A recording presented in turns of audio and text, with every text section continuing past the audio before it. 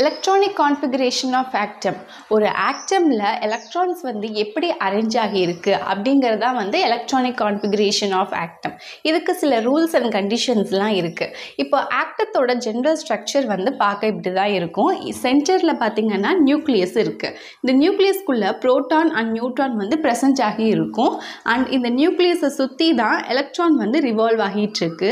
இன்னும் imaginary path called orbit or shell or energy level எப்படி வேணாலும் சொல்லலாம். இப்போது எலக்ட்ரான்ஸ் வந்து ஒரு ஆக்டமில் நிறையா இருக்கும். பட் ஆனால் அதோட அரேஞ்ச்மெண்ட் பார்த்தீங்க அப்படின்னா ஒரு சில ரூல்ஸ் அண்ட் கண்டிஷன்ஸ் படி தான் வந்து அரேஞ்ச் ஆகியிருக்கு. இப்போ நம்ம ஸ்கூல் கிளாஸ் ரூமில் எப்படி வந்து ஸ்டூடெண்ட்ஸ் வந்து ஒவ்வொரு டெஸ்கில் உட்காந்துருக்காங்க total number of students fifty இருக்காங்க அப்படின்னா அந்த ஃபிஃப்டியும் வந்து ஒரே டெஸ்கில் உட்காந்துருக்க முடியாது. ஸோ ஒவ்வொருத்தரும் வந்து ஒவ்வொரு டெஸ்க்கை ஆக்குபை பண்ணியிருப்பாங்க. ஒரு டெஸ்கில் ஒருத்தர் இருக்கலாம் இல்லை ரெண்டு பேர் இருக்கலாம். இல்லை மூணு பேர் இருக்கலாம். அதே மாதிரி நம்ம வீட்டில் இருக்கக்கூடிய கபர்ட் நம்ம எப்படி ட்ரெஸ் அரேஞ்ச் பண்ணி வைக்கிறோம் எப்படி நம்ம புக்ஸ் எல்லாம் அரேஞ்ச் பண்ணி வைக்கிறோம் நீட்டாக அரேஞ்ச் பண்ணி வைக்க பார்ப்போம். ஸோ கன்ஃபியூஸ் ஆகாமல் இருக்க இல்லாமல் இருக்கிறதுக்கு நம்ம பார்த்தோன்னே எடுக்கிறதுக்கு இந்த மாதிரிலாம் அரேஞ்ச் பண்ணுவோம். இதே மாதிரி தான் ஆக்டமில் இருக்கக்கூடிய எலக்ட்ரான்ஸும் வந்து அரேஞ்ச் ஆகி இருக்குது இந்த எலக்ட்ரான் வந்து டிஃப்ரெண்ட் எனர்ஜி லெவலில் வந்து ஆக்குப்பை ஆகியிருக்கு அதாவது இந்த இமேஜினரி பார்த்தான ஆர்பிட்டை தான் நம்ம டிஃப்ரெண்ட் எனர்ஜி லெவல்னு சொல்கிறோம் ஸோ ஃபஸ்ட்டு ஷெல் இருக்கு இல்லையா?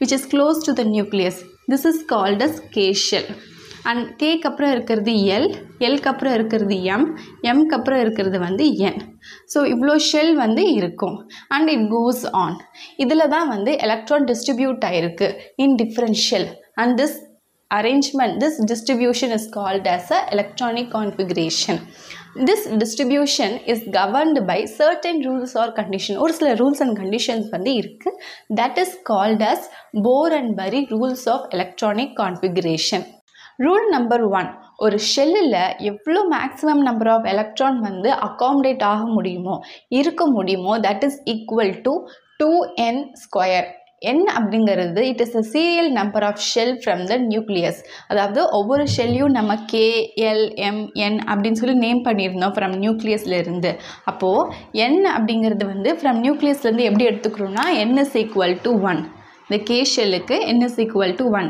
L ஷெல்லுக்கு NS equal to two எம்முக்கு என்எஸ் ஈக்குவல் டு த்ரீ என்னுக்கு என்எஸ் ஈக்குவல் டு ஃபோர் இப்படி எடுத்துக்கிறோம்.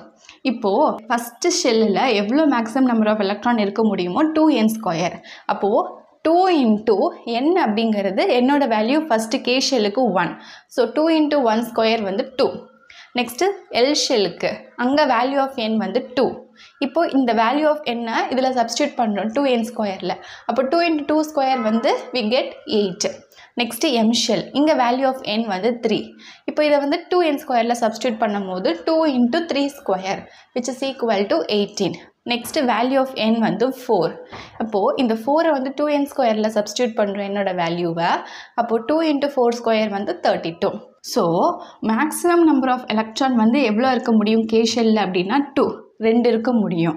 நெக்ஸ்ட்டு எல் ஷெல்லில் வந்து எயிட் இருக்க முடியும்.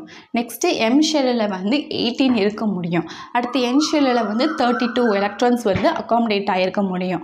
ஸோ பார்க்கவே எவ்வளோ கொச்சா மொச்சான்னு இருக்குன்னு பாருங்கள் இதுதான் வந்து rule number one rule number two shells are filled in a stepwise manner in increasing order of energy.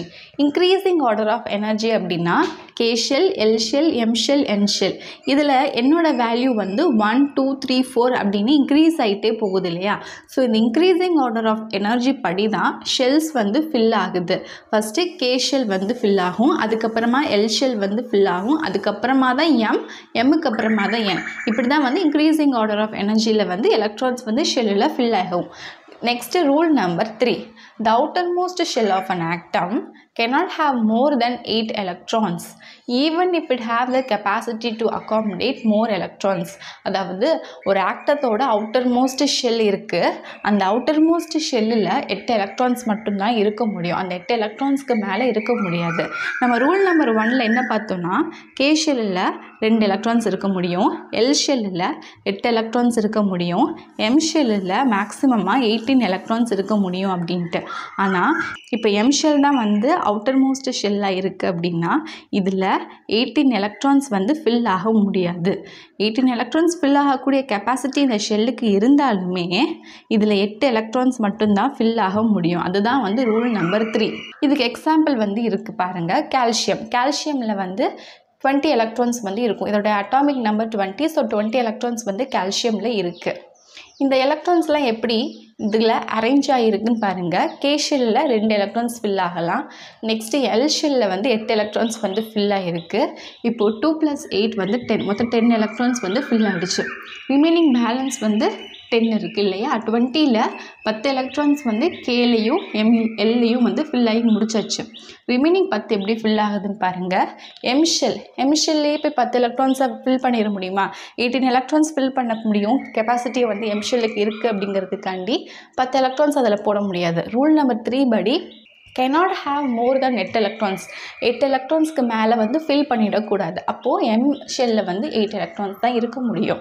அப்போது எம்மில் எயிட் எலக்ட்ரான்ஸ் இருந்துச்சுன்னா பேலன்ஸ் டூ எலக்ட்ரான்ஸ் இருக்குது அது வந்து என் ஷெல்லில் ஃபில் ஆகும். நெக்ஸ்ட்டு இப்படி தான் இன்க்ரீஸிங் ஆர்டர் ஆஃப் ஷெல் படி ஒரு ஷெல்லில் எவ்வளோ maximum number of electrons accommodate ஆக முடியும் அப்படிங்கிறது இருந்தாலுமே ரூல் நம்பர் த்ரீ படி அவுட்டர் மோஸ்ட் ஷெல்லில் எட்டு எலக்ட்ரான்ஸ்க்கு மேலே ஃபில் பண்ணக்கூடாது. Next another example what is electronic configuration of aluminium அலுமினியத்தோட electronic configuration வந்து நமக்கு தெரியணும் அப்படின்னா ஃபஸ்ட்டு அலுமினியத்தோட அட்டாமிக் நம்பர் என்னன்னு தெரிஞ்சிருக்கணும்.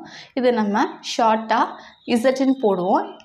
அலுமினியத்தோட அட்டாமிக் நம்பர் வந்து தேர்ட்டீன் இப்போ தேர்ட்டின் எலக்ட்ரான்ஸ் வந்து இந்த அலுமினியம் ஆக்டமில் இருக்குது சரி இதை எப்படி வந்து அரேஞ்ச் பண்ணுறது கேஷியல் எல்ஷியல் எம்ஷியல் ஷெல் ஃபஸ்ட்டு கேல டூ எலக்ட்ரான்ஸ் வந்து அகாமடேட் ஆக முடியும். எல் எட்டு எலக்ட்ரான்ஸ் அகாமடேட் ஆக முடியும்.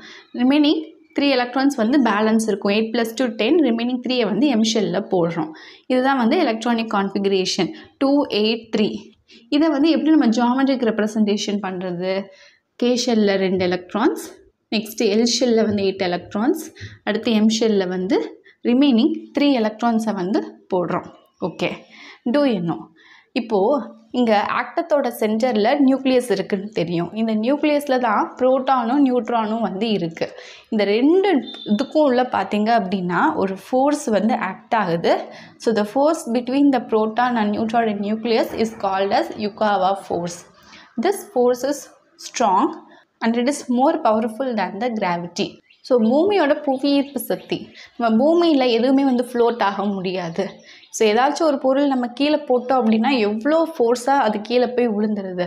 அதை விட ரொம்ப ஃபோர்ஸாக ஸ்ட்ராங்கானது இந்த Yukawa force okay that's all about the electronic configuration of atom so electronic கான்ஃபிகரேஷன்னா என்னென்னு பார்த்தாச்சு. அதோடைய ரூல்ஸ் என்னென்ன? அண்ட் ஒரு சில எக்ஸாம்பிளை வச்சு நம்ம எப்படி அரேஞ்ச் பண்ணுறது அப்படிங்கிறதும் பார்த்தாச்சு. ஐ ஹோப் உங்களுக்கு கிளியராக அண்டர்ஸ்டாண்ட் ஆயிருக்கும்னு நினைக்கிறேன். இதில் ஏதாவது டவுட் இருந்துச்சு அப்படின்னா கீழே கமெண்ட் செக்ஷனில் you can ask the doubt இடையில ஒன் வீக் போஸ்ட் பண்ணாமல் போனதுக்கு I really sorry I try to go fast don't worry about that I complete on time keep வாட்சிங் தேங்க்யூ